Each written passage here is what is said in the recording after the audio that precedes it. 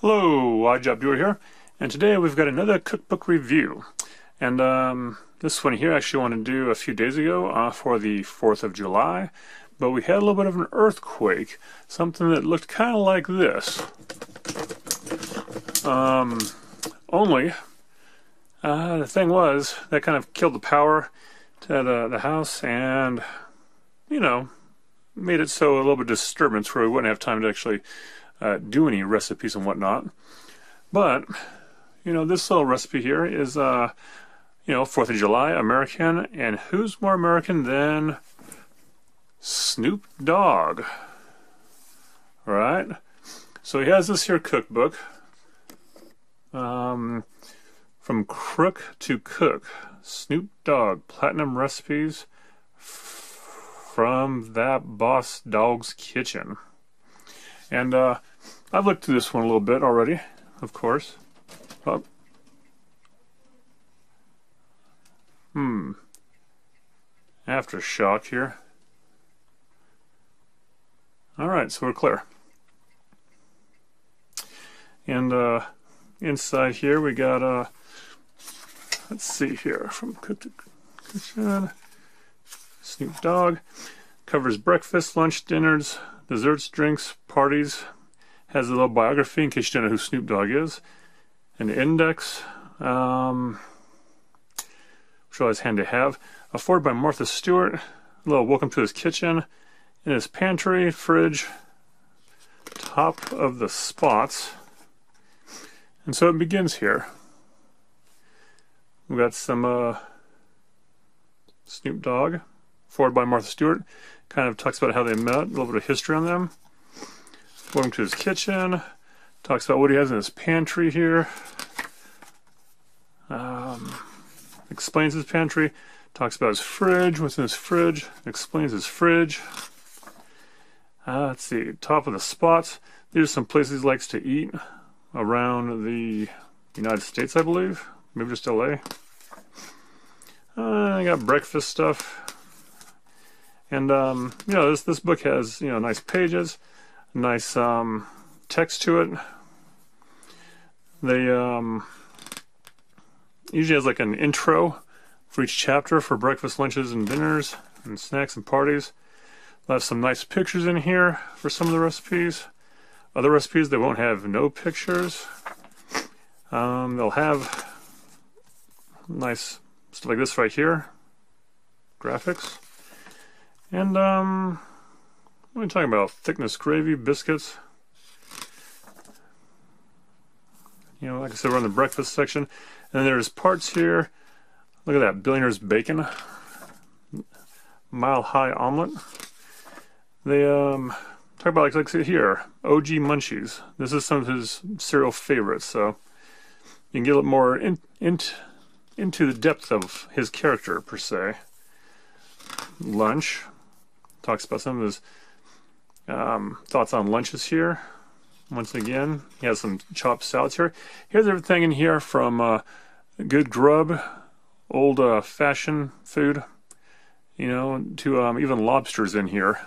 And of course, salads. Here's one here.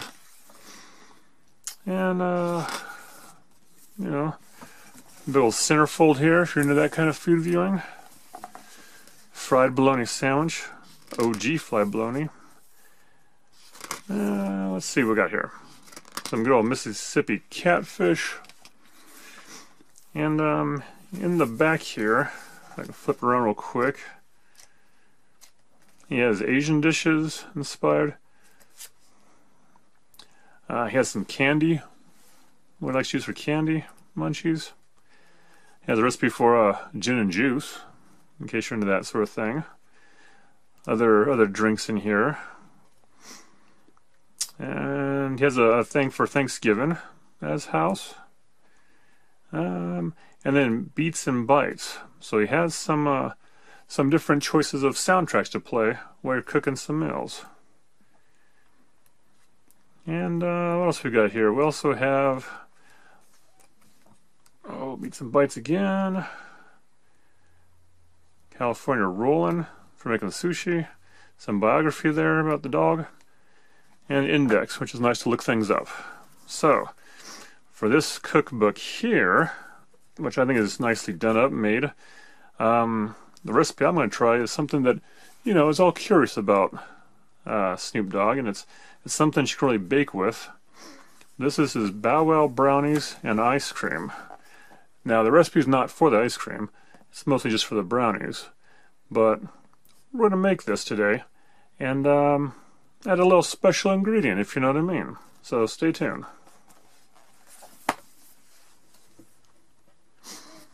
Well, let me also add on this before I go.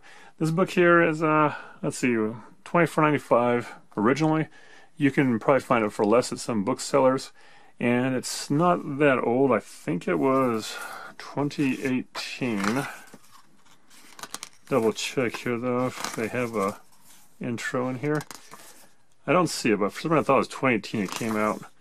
So it's not too old, not too hard to find.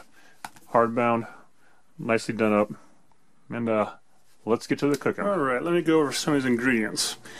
This here serves six. Um, you need, for the hardware, an 8 by 8 inch uh, baking pan.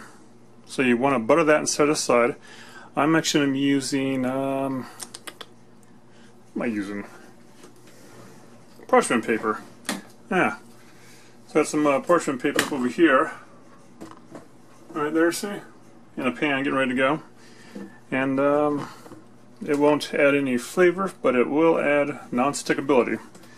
So then, back down to here, we got our ingredients. For the uh, the hardware, we'll need a mixing bowl, a saucepan, and um, a whisk, and probably a spoon or spatula.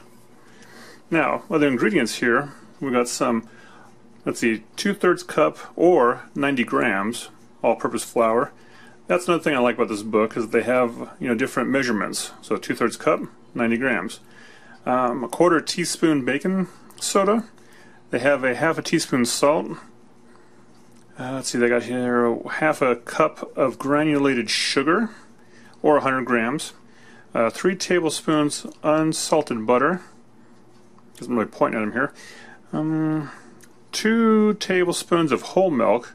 Not that 1%, not that 2% but I believe it's like you know three or three point five above it, or it might just say milk on it, and that would be the the whole milk.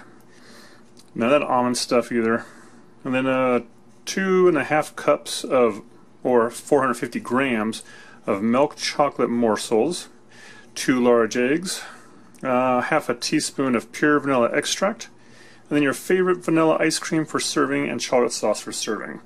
Um, since this is uh, Snoop Dogg's Bow Wow Brownies, um, I'm going to be adding a little, uh, a little something. You know, in the top here they talk about what Snoop Dogg likes to add, you know, with his little secret ingredients. I too have a little secret ingredient I'll be adding later.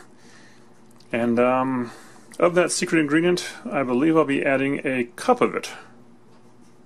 Yeah, so just hold on. Let's get to the works here. Okay, now, so step one is actually preheating your oven to um, to 325 Fahrenheit, or 165 Celsius. Now, I'm going to hold off on that just because I don't know how long this is going to take, but if you're a quick mixer, go ahead and get it done depending on how fast your oven heats up. So step two is basically your two-thirds cups of all-purpose flour, and you whisk in there, yeah, your uh, quarter teaspoon of baking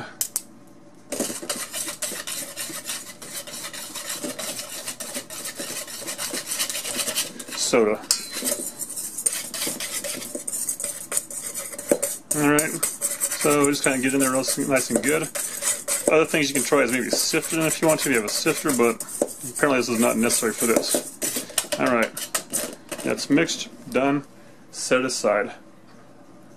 On to the next step. Alright, so in our medium saucepan over some medium heat there, we're combining our uh, three tablespoons of butter and our two tablespoons of whole milk. Ah, I better get on this.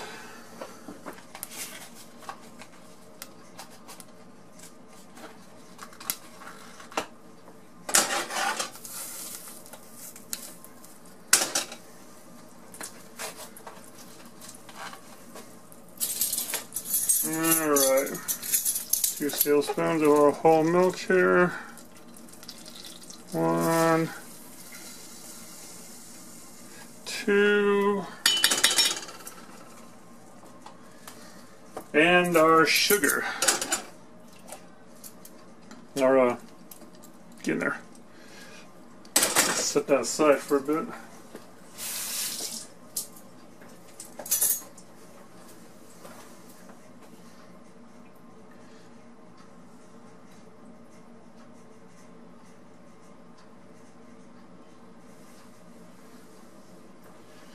Right, or half a cup of granulated sugar.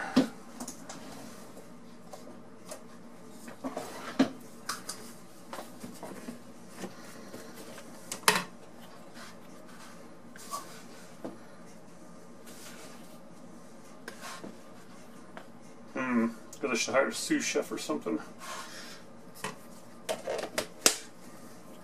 Alright. Pop that in there. We'll give it some whisk.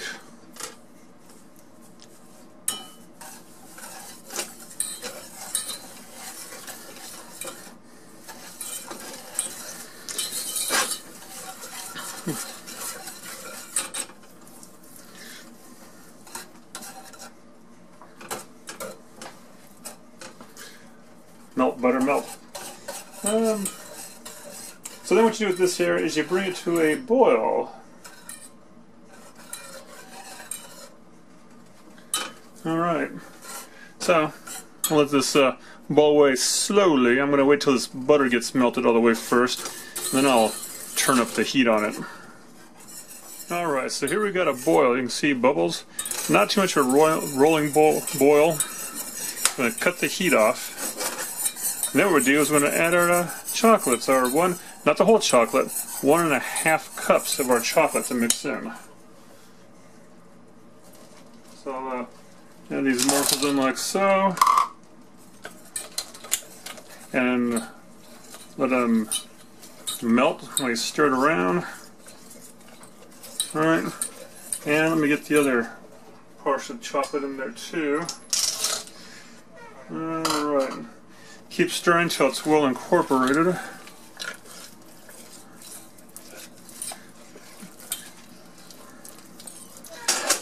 Let's see here.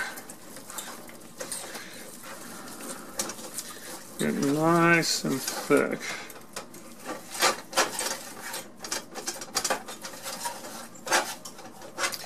Uh, Alright, with it off the heat now and your chocolate incorporated here, you mix in your half teaspoon of pure vanilla extract. Give me some of that here.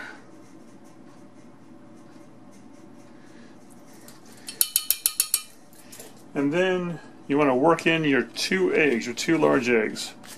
Now the thing with eggs, if you ever made something where you mixed them with something hot, they like to turn into scrambled eggs real easy. So, I'm going to give this a few stirs. Get that vanilla extract in. Give it a little feel. It's still supposed to be pretty warm. So I'm going to just try a little bit. Kind of temper it in. And hopefully we don't get any kind of scrambling of the eggs here. Because that will be an interesting uh, omelet there. Oh, there's a big piece of egg. Mm-hmm. Just work that in here. Seems to be not cooking at least. See if we can get it combined. Scraping the sides of my pan.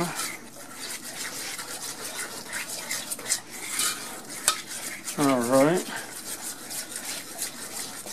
We'll use another egg here. Get a yolk in there, see what that does. Mm.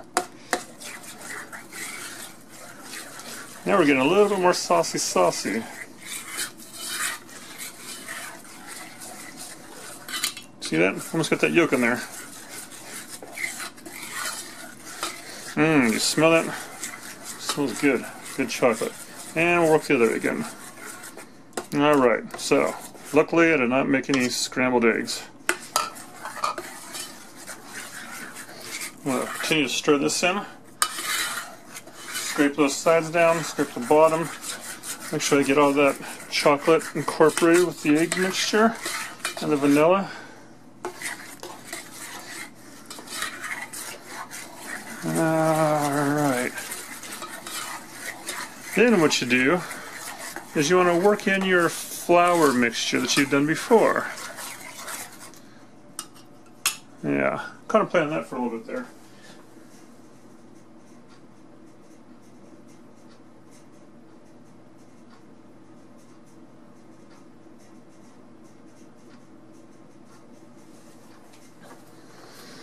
Okay. So, this here is done. Now we'll work in our flour mixture.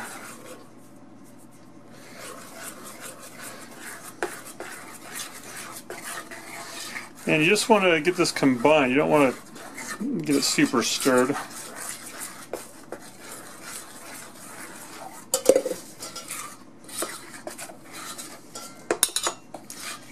Mm -hmm. Combined you. There we go, a little bit of overhand, underhand method.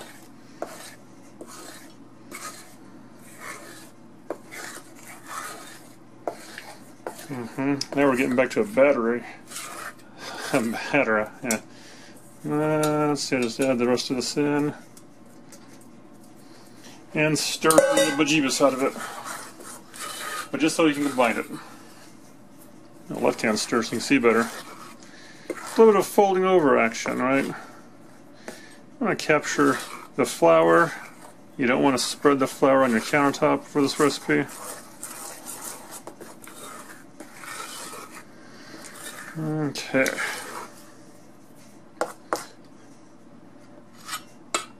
That on there. There, now that is mixed. No clumps, no bumps. And now we get ready to pour it and add the secret ingredient. Okay, now I'll put this over to the side here and uh, get ready to put it in the pan. And now it's time for the secret ingredient that we'll be adding to it. And uh, no, now not that. That right there's some green tea and basil to make some uh, basil green tea later. Secret ingredient this right here. We got some M&M's, you see. And uh, not only any M&M, these here happen to be 50% cacao dark chocolate M&Ms, right? Because, uh, you know, if, if you haven't forgotten, Snoop Dogg and M&M goes good together. So, what you just do here is you pour your batter right into your pan. Let it spread out nice and evenly, so.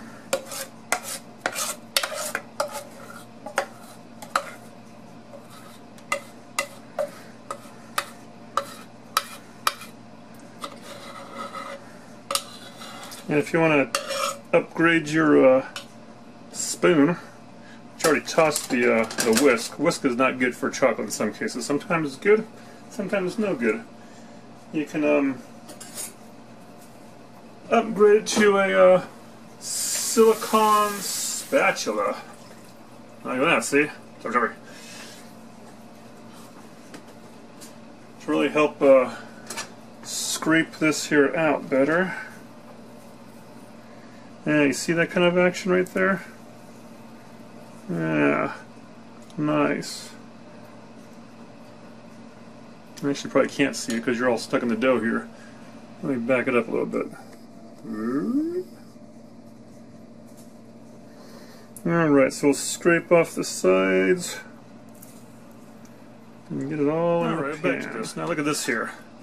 Right, that's a well scraped pan. Silicone, like I said. Is there nothing it can't fix and make better? Alright, with that beep noise, that means the oven is pre-set to the temperature, preheated. So I'm going to spread this out a little bit more here. Get back in those corners and sides. And if you didn't do it this way here, with this secret ingredient, the um, other kind or I should say not the other kind, but the other thing what, what you would have used is actually a cup. You would reserve from the two and a half cups one cup of the uh, chocolate chips, and you would sprinkle them on top, you know, like so. If you were to use the other secret ingredient, um, green tea, which I would not use green tea, but um, that you'd probably mix in with the batter. Now, since I clumped these all up horribly, I'm just gonna, you know, spread the wealth a little bit more and get these M&Ms uh, ready to go. You know, because sometimes M&M likes to act up. Alright. So got that there. Lick the batter. No, because there's raw egg in here. I'm going to scrape off here so I can burn on the side. Scrape off, back to the batter. Alright. And now, into the oven. Alright, in the oven it goes, right in the middle. And we're going to time it for about 15 minutes. After 15 minutes, uh, we're going to rotate the pan uh, 90 degrees. So 15 minutes on the timer. Alright, so it's been in there for about 15 minutes, getting well baked. And we'll open the door here and rotate the pan. Using your glove, of course. It's still pretty gooey. Ah, just grab it. Rotate the pan. And now we're going to have it bake in there for another, I'm going to say 12 minutes. Two to get more heat back in from opening it, and 10 minutes for it to chill. Well, cook. Alright, so after about, what, 15, 12, I don't know, 27 minutes or so, it says 25 to 30 minutes of uh, bake time. We got this here. Now you can see the uh, crust there on the sides, right? Nice little uh, cracks in it, just like from the earthquake that happened. And, um, yeah. Just gonna let this cool down a bit. And then uh, get ready to cut into it and devour some. So, I'll let it cool. Now granted, if you want to eat it right now, I'd say let it cool, let it set up a little bit longer, make sure, you know, the quake stops with the baking. And, uh, you know, I have it on a wire rack right there to help it cool evenly. Uh, sure, it'll probably still cool from the outside in, outside in. But, um, yeah, so I'd say give it at least 10 minutes before you cut into it. And then it'll still probably be warm. So I'm going to give it a little bit of time here to cool. I'm going to actually take some of this and um, set up for a little sampling time. Alright, now's the time to try this out. It's been a few hours since it's been baked, and I'm going to be sharing this. I'm going to cut this right, right about half. Okay, right about half here. And I'm sure it's good as is, but um, we'll try to um, put in the old nuker. Give it a little warming up here. Alright, and so it's not going to take a whole lot. Come back here in the darkest area of microwaves. And uh, let's see here. Here we go. And we'll do, oh, five, six, eight seconds? No, ten. Okay, so a minute.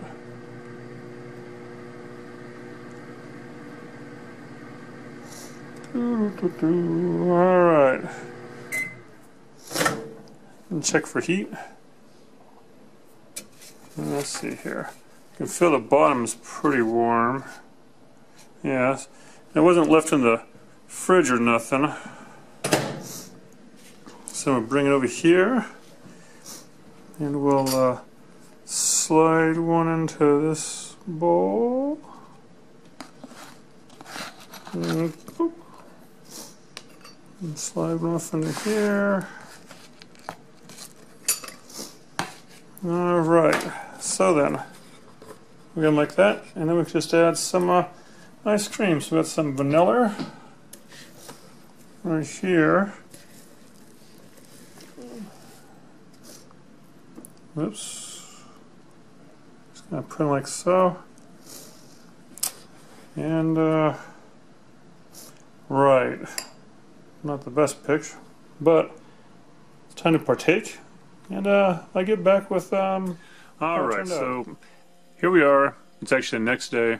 Uh, last night, uh, me and someone else had some of these brownies, and you know what? I don't know if it's that I haven't had a brownie in a long time or a real good brownie in a long time, but as you can kind of see in the picture here, maybe you know, it had a nice crust on top, and of course the edges have that nice brownie crust.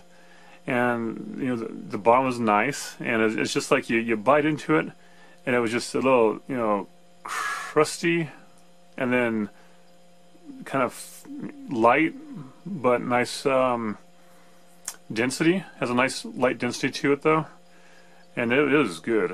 It is smooth. It is delicious. Polished it off with some ice cream that we mixed up as you saw earlier in this video. And uh, and uh, we both enjoyed it real good. In fact, this morning I uh, you know had a few more bites of them from the pan, and uh, still good, of course. And now another thing. So th this is a solid recipe for brine, that's for sure, legit. But um, another thing about this cookbook that I haven't pointed out yet was uh, from time to time there's parts parts where you have this kind of fancy design here. The flip, right? And so when they have the flip there, it usually adds a little bit more um, information. You know, a little bit more, maybe a change to the recipe that you can make or do. And uh, let's see more about this cookbook. It's nicely bound, I thought. It's uh, Chronicle Books. You can see that there, publisher. And it's on the shelf. And um, you can actually buy it for, you, know, you can probably buy it for any price on, online still. But um, I've seen them around, you know, $15 or something like that. You know, it depends on if you get it new or used. There's going to be different prices out there. And uh, the availability is still there. So, you know, you know it's, it's from um, October of 2018 is when this book came out. And let's just say if Snoop Dogg ever invited me to dine at his house, I'd be on it. You know, this food's legit. It's good. Um, you know, the pictures are fun. Here we got a picture from his uh, down under lobster thermidor recipe, right? He actually said he got that from going to different countries, I think, to get the recipe. And uh, you know, there's there's different dining situations, like you know, parties of like Thanksgiving, uh, parties at his house, game day, football time, Domino's, Beach Seafood Remix. And you know what? This book is definitely going back up on the shelf as a keeper. Eventually I'd like to try more recipes from it. And uh, yeah, I support this cookbook.